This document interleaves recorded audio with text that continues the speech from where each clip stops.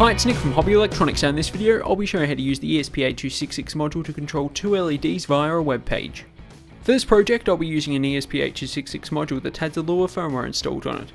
This process is simple and only requires a few steps. A link on how to do this can be found in the video description. For this project you'll be needing an ESP8266 module, a USB to FTDI adapter for programming, some jumper wires, a breadboard, a USB cable, two LEDs, and two resistors. To begin I'm going to connect the FTDI adapter to the ESP8266 module using some jumper wires. For this step I'll be following this schematic. We can then connect the two LEDs and resistors to the two GPIO pins of the module. With the positive leg of the LEDs connected to the GPIO pins, we can connect the negative leg to a resistor then to ground.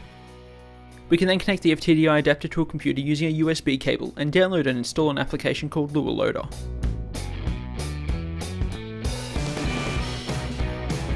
From here we can select the COM port of the adapter and connect the module to a wireless network.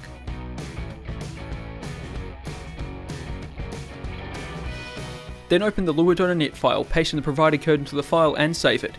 We can then upload the file to the module and enter the IP address of the ESP8266 module into a web browser. From here you can control the two LEDs using the on-screen buttons. For more information visit the project page on the Mr. Hobbytronics website.